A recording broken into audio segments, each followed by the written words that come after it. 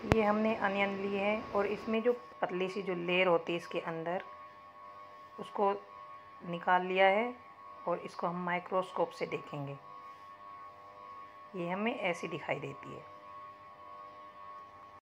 These are the cells and this is the nucleus this is the nucleus every cell has a nucleus the inner covering of the cell is cell membrane outermost layer of the cell. This is cell wall